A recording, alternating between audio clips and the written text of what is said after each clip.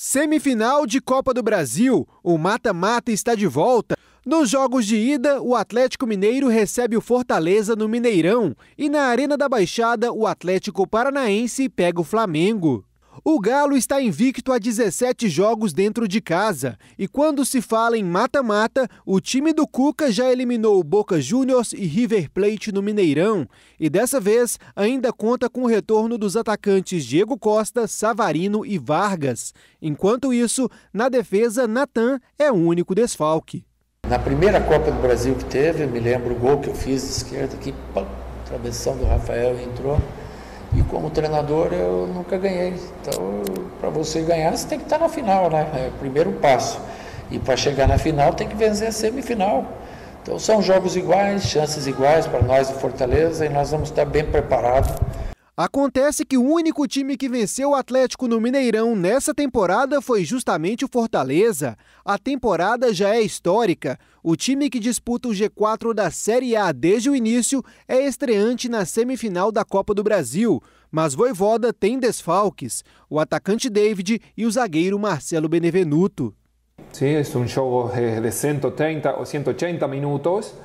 Y mm, para eso nos necesitamos inteligencia, pero también eh, conservar y, y mejorar en, en, todo aspecto no, nuestro, nuestro jogo, como fazemos sempre.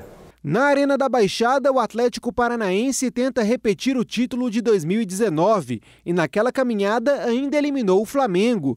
O problema é que o Furacão não vence há três jogos e tem novos desfalques. No meio, Richard e Christian. No ataque, Bissoli. É a hora do técnico Alberto Valentim reinventar a equipe. Trabalharmos muito, de passar todas as informações possíveis para os atletas, nos mínimos detalhes, individualmente, em relação à característica de cada um deles, desenho tático, de, é, a forma que eles vinham jogando e procurar extrair ao máximo, sugar ao máximo de cada jogador nosso para essa decisão.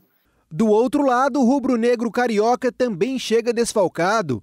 Arrascaeta e Bruno Henrique ainda não estão recuperados, mas Isla e Rodrigo Caio retornam ao time titular. O técnico Renato Gaúcho ainda procura a solução para retomar a máquina que distribuía goleadas pouco tempo atrás. Cada três dias é uma batalha, é uma final e tem que ganhar.